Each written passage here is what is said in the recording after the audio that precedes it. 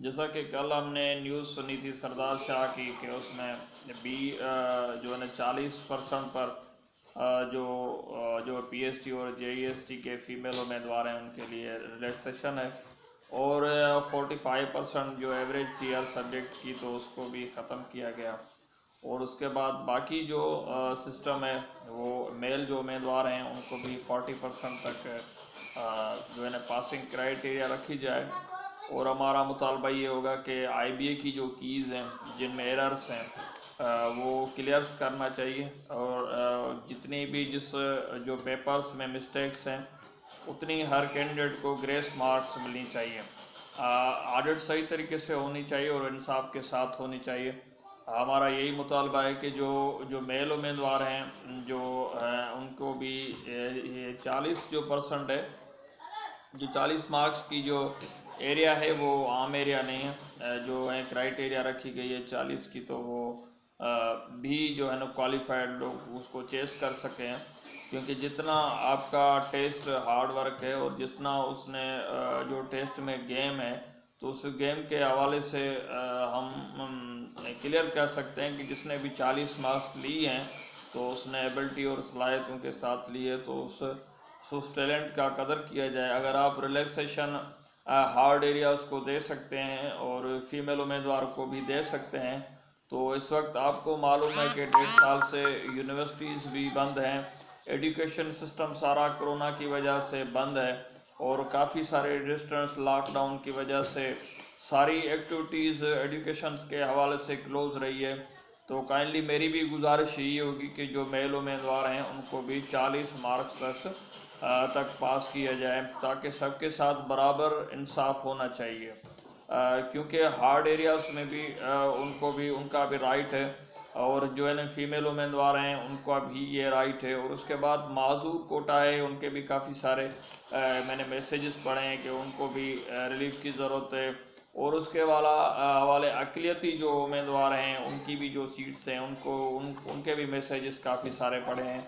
तो ये हमारे दोस्तों की जिनने स्ट्राइक्स की हैं और एक तो मैं सलूट पेश करूँगा शौकत अली जरदारी को जिसने इतनी सारी डिटेल के साथ जो बात की है सोशल मीडिया पर जो पीएचडी और जेईएसटी के नौजवान हैं, उनकी टेस्ट के बारे में तो जितना उनने आवाज़ बुलंद किया है तो हमारी दुआ है कि अल्लाह ताला उसको मज़ीद कामयाबियाँ अता फरमाए और उनके अल्लाह ताला हिफाजत फरमाए।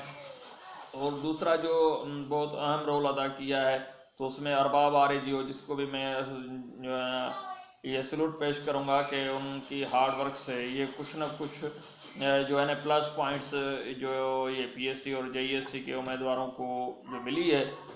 मज़ीद भी मेरी ये आपसे, आप दोनों से रिक्वेस्ट है कि आप मज़ीद भी इसको जिस तरीके से आपने स्ट्रक्ट लाइन पकड़ी हुई है, इसी तरीके से आप इस लाइन को पकड़ें और जो नौजवान हैं उनको हक दिलाने में आप अपना अच्छा रोल अदा कर रहे हैं और मज़ीद भी उम्मीद करते हैं कि आप अच्छा रोल अदा करेंगे। और दूसरे जो हमारे दोस्त हैं पीएसटी और जेईएसटी के, जिन्होंने पूरी सिंध में स्ट्राइक्स किए हैं और एहतजाज किए हैं तो उनसे भी मेरी गुजारिश है कि आप इस काम को कंटिन्यू रखें, क्योंकि इंसाफ की जो अभी जो है क्राइटेरिया हमारी 40 परसेंट पास पर जो हमारा जो नारा है, जो पीएसटी और जेईएसटी की जो दोस्त हैं, उन सब की दिल की जो आवाज़ है, वो अभी तक मुकम्मल नहीं हुई। अभी ये थोड़ी सी उनने लचक दिखाई है। आपने इतना काम किया है और आपने इतना हार्ड वर्क किया है तो उसके बदले में उन्होंने हुकूमत ने थोड़ी सी ये लचक दिखाई है।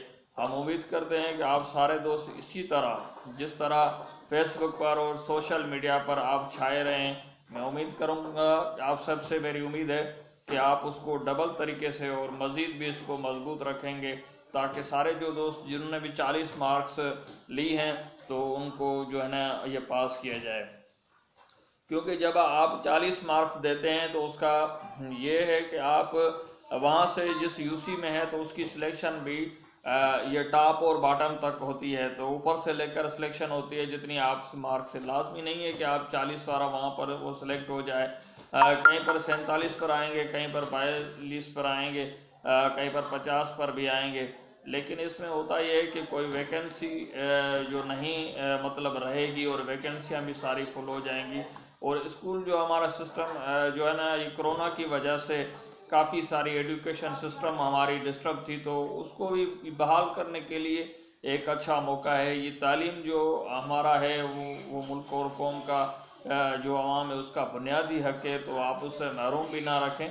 और मुल्क और और कौम की जो तरक्की है, वो भी उन उन नौजवानों से जो नवा जो नौजवान काम करेंगे तो मुल्क और कौम की इसमें भी खिदमत शामिल है।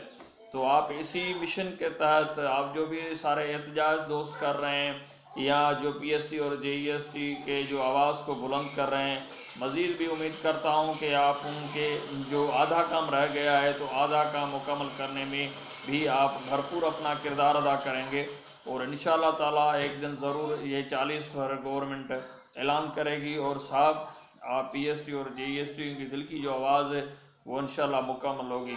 लेकिन एक मेरी गुजारिश उन दोस्तों से भी होगी, जो दोस्त एहतजाज कर रहे हैं, जो सोशल मीडिया पर वर्क कर रहे हैं और ट्रेंड्स पर काम कर रहे हैं, उनका, उनको भरपूर साथ की ज़रूरत है।